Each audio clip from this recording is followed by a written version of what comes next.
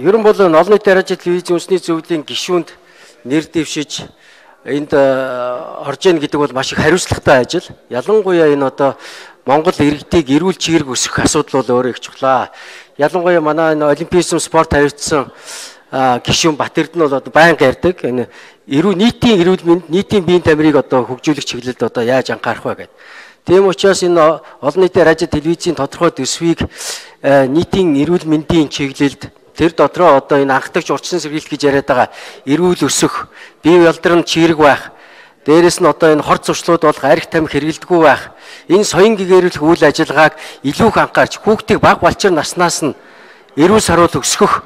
Энэ одоо үүрэгт ажлыг илүү нөлөөллийн ажлуудыг бүр бодиттой ажлууд хийгээсэ гэж хүсэж байна.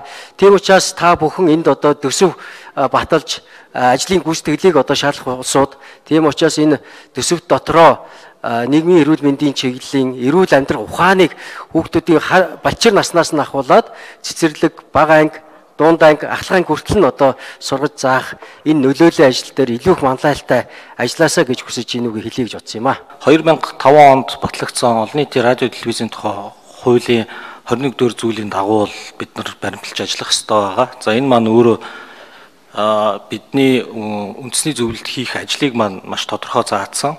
За олон улсын сайн засаглалын стандартаар бол бид нар бол одоо тузын гишүүн болж орж ирж байгаа. Нэг талаасаа а нөгөө талаасаа бол бид нар олон нийтийг төлөөлж орж ирж байгаа хийх ажил маань гэвэл за түрүүн хэллээ энэ зорилт стратеги дээр нь бид нар жил болгон баталж улиралд нэгээс доошгүй одоо хуралдах ёстой.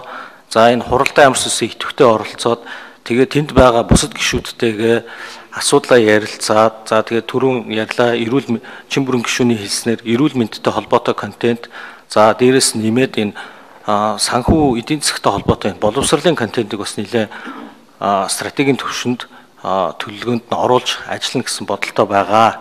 За санхүүжилтийн хувьд бол энэ хуулиараа 3 их усрыг заасан байгаа. Нэг нь болохоор нөгөө өрхийн нийт ард иргэдийн ард иргэдээс хураадаг хураамж байгаа. За нөгөөх нь хоёр дахь нь бол зар сурталчилгаа. За гурав дахь нь бол засгийн газрын дэмжлэг гэсэн байгаа. Яг одоогийн байдлаар авсан мэдээлэл дээр бол ковидын үеэр бол нэлээд хүндхэн байсан гэж ойлгосон. За техникийн хувьд ч гэсэн нэлээд их шинжлэх шаардлагатай байгаа асуудлууд байгаа юм байлээ.